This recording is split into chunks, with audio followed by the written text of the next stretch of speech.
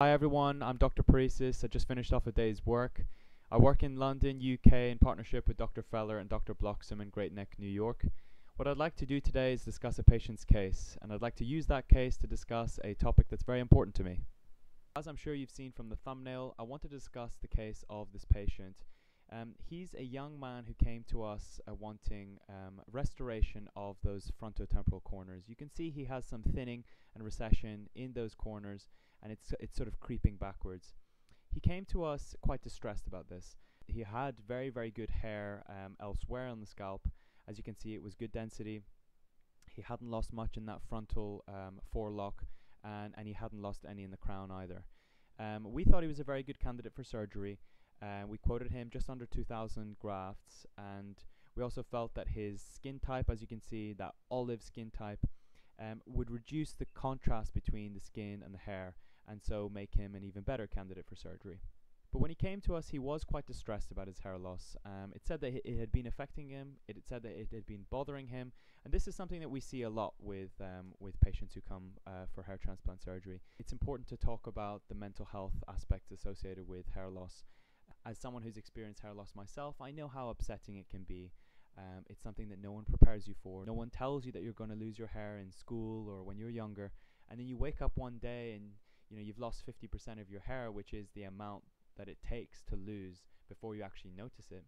You know if you lose 50% of your hair that's when you start to see it. And um, you know you, you get we might get comments from friends or peers or family members telling you oh you know you've lost your hair. And that can be very upsetting for a lot of patients.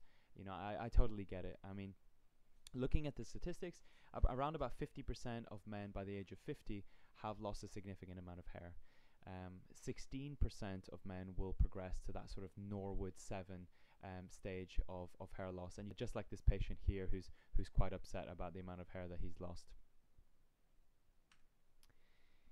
I thought that it would be a good idea to look at one of the papers that has examined the psychology of hair loss in more detail. So I thought this was an excellent paper by Dr. Cash that was worthwhile discussing. You can see here the highlighted sections that I want you to pay attention to. First of all, of course, hair can be an essential part of self identity or body image.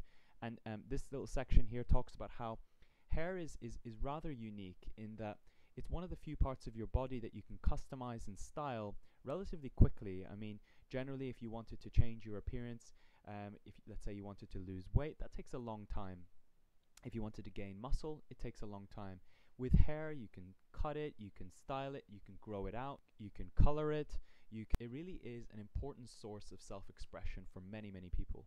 This part is just a reminder of just how common male pattern baldness is. The paper uses the abbreviation AGA, which just stands for androgenic alopecia, which is the same as male pattern baldness.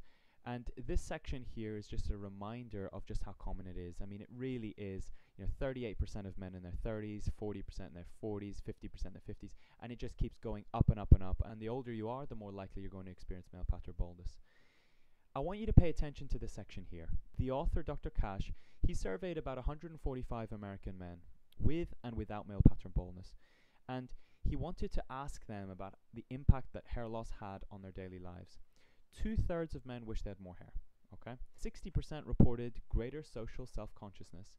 62% said that their peers teased them about their hair loss. 47% said that they look older than their age and worried about people noticing their baldness. And 41% said that they felt less attractive. And 40% felt feelings of frustration and helplessness about their hair loss. And you can see that, um, you know, uh, the more hair loss that a patient experienced, greater feelings of uh, of, of distress that they experienced. We also have another study here in the US of about 273 men, and this basically uh, concluded that men with more severe male pattern baldness were more worried about it. They were more worried about aging, social noticeability of losing their hair, and more dissatisfied with their appearance as well.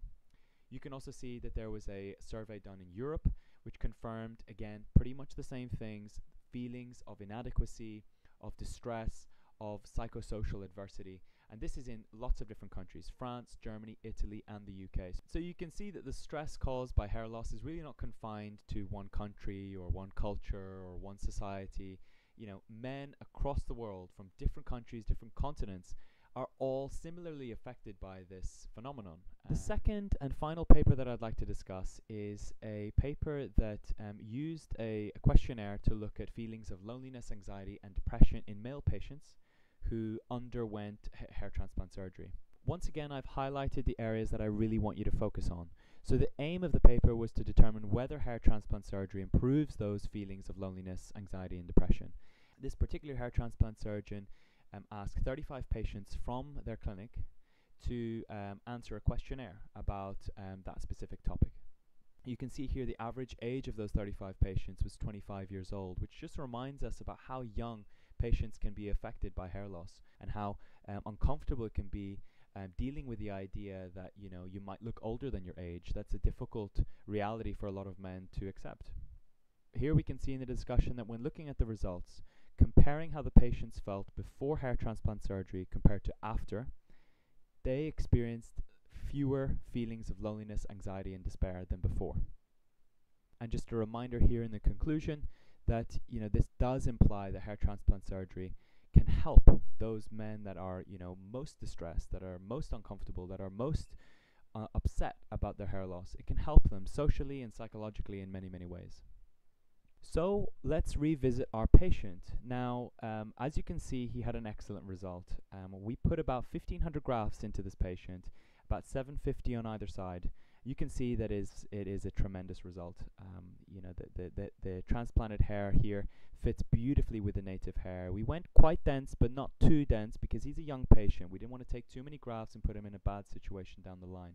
It means that he has lots to pick from in the future should his hair loss progress.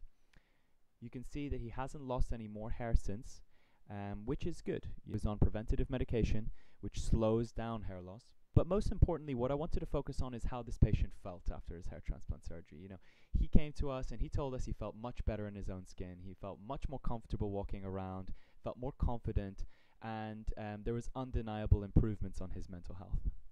Another shot which just showcases the result and another one from above. It's important when looking at results to look at lots of different angles because of course, you know, you're not only going to be seen from the front, you're not only going to be seen from the side. It's important that your hair transplant surgery looks natural and and and of good density, you know, from all angles. Here we can see another angle and you know, we did the same thing on the patient's right side as we did to the left. Um, and as I said, he felt much happier with his result and much more confident. So what's the main take home conclusion?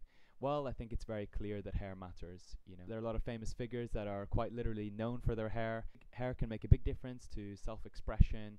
Um, it is very malleable, and it's there's so many different ways of styling your hair that it's very valued in society. The other thing I wanted to highlight is how hair transplants are an option um, in the growing field of hair transplant surgery, which is now worth about five billion dollars every year. Hair transplants work. Not only does hair transplant surgery restore your hair, but you know it can restore your mental health um, if hair loss has been something that has been affecting it. Once again, I'm Dr. Parissis. Thank you so much for watching.